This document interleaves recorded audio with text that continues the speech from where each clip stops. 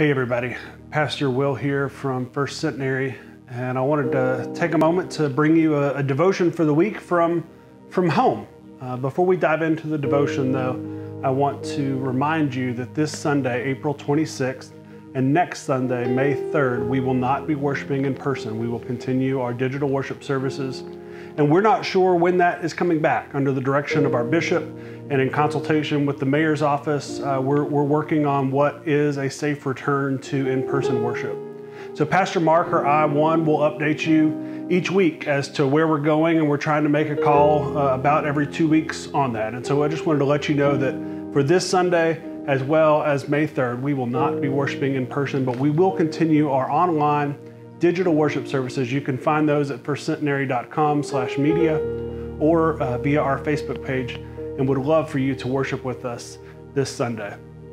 Uh, welcome to Christina and I's uh, kitchen, uh, dining room uh, slash workspace. This is where we've been working at home for the last few weeks and I don't know about you, but, but being home more often during the day has allowed me to, to see my house in a, in a new light. Uh, there's, there's something really cool about the way that, that light enters uh, buildings at different times during the, during the days. Uh, at, at, seminary, when I was at Duke, there was a stained glass window at the top of the steps that was a, a representation of the Holy Spirit. And when you graduated, you received a piece of that stained glass window in the form of a cross uh, that they would give to each graduating class, a, different color from that window representing their class. And uh, my class got a purple cross when we, when we graduated. And every day when I was walking into class, I would uh, look at that window at different times and I would see the light coming through and, and shining in different colors. And when Christine and I have been sitting in our, our kitchen and living room working together side by side, uh, trading off who's on conference calls, it's been neat to watch the, the light come through the kitchen window or the, or the living room or the dining room and to watch how that lights up the room. And I just want to give you a word of scripture uh, this day and, and hope that it will encourage you to find light in your life and to share that light with others. This is from Matthew's Gospel, the fifth chapter. You are the light of the world. A city on top of a hill cannot be hidden. Neither do people light a lamp and put it under a basket. Instead, they put it on top of a lampstand, and it shines for all who are in the house.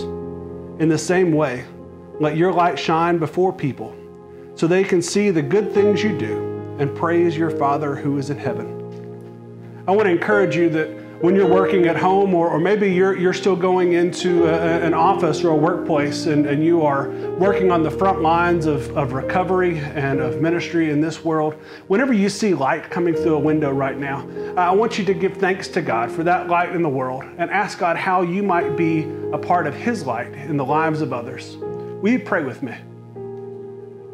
God, we thank you for this day. We thank you for your word and your call for each of us to live as lights in this world. Send your spirit upon us. And in these trying times, times of, of physical uh, distancing and separation, times of, of job loss, of sickness, and of even death, may we seek to be your light and offer your light to all that we meet in this world. In Christ's name we pray. Amen. God bless, and we'll see you next week.